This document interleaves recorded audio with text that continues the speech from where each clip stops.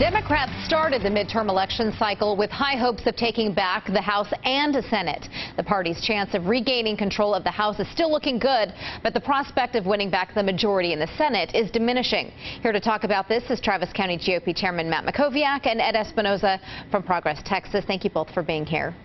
Good to be here.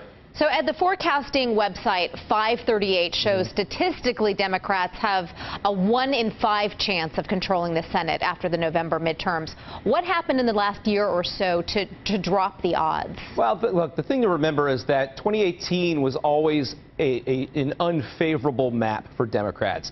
Democrats are defending 25 seats in the U.S. Senate this year, whereas Republicans only have to defend eight, and they come from places such as North Dakota, Wyoming, Nebraska, places that aren't real movable. Uh, but the opportunities reside in places like Nevada, Arizona, and then, of course, here in Texas, maybe even Tennessee. So with a map like that, you know, Democrats are only down one seat in the U.S. Senate right now. They need two more seats to take control. That could come from Arizona and Nevada, could come from Texas. There's still a whole lot of campaign left in front of us.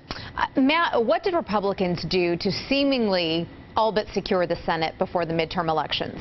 Again, nothing is set in stone. until the, the, the, ballots are cast. yeah, look, I think just from a statistical standpoint, uh, Ed's exactly right. I mean, I, I actually have never believed the Senate has been in play not for one minute, not even when, the, when things looked the, the, the darkest or the bleakest for Republicans did I believe it's in play. And the reason for that is that this is the most advantageous Senate map for either party in the history of the Senate since we went to direct election of senators. Uh, if you just look at those numbers that Ed was citing, 10 seats uh, have a Democratic incumbent from a state that Trump won two years ago. Uh, and I think Republicans have a good chance of netting uh, two or three of those seats. Uh, North Dakota, Missouri, and Florida would be my top three. Uh, so there's a good chance they're going to pick up those three. They only are really defending two seats that are truly competitive, Arizona and Nevada, and recent polls in both states have had the Republican candidate ahead. I've never believed Texas was in play, and I've never believed Tennessee was truly in play. Ultimately, we'll see. Depends what kind of what kind of night it is. If it's a truly a blue wave, uh, that would change things. I don't think that's likely to happen. I think it's going to be more in that middle range.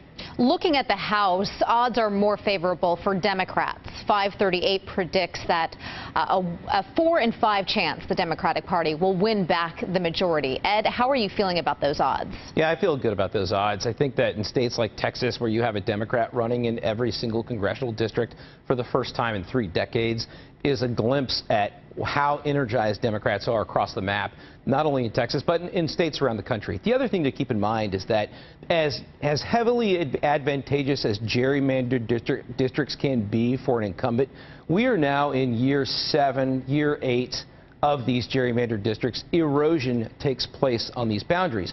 People move, communities change, certain states grow, others contract. That will have an impact on districts that are normally considered rock solid one way or the other. And I think this year it favors Democrats. Matt, do you think 80% is accurate when predicting the chance of Democrats winning the House?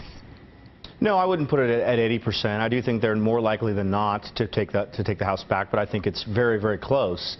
Uh, if you take all the seats that are likely to go one party or the other, where it's pretty clear, including the Democratic pickups, there's about 27 swing seats where both parties are, are, actively campaigning, spending resources, and both campaigns are well funded. I think Democrats need to take 13 of those 27 to take the majority back. So it's uh, a, a, uh, certainly an uphill battle for Republicans to hold the House. Many of these seats are in suburban districts. Democrats have been making gains in the suburbs. There's a lot to watch. I think the Democrats are narrowly more likely to take the House back, but I think the Republicans are going to hold and perhaps even gain a couple seats in the Senate. Okay, we are out of time, but Matt, Ed, thank you both for sharing your perspectives with us tonight. Thanks. Thanks.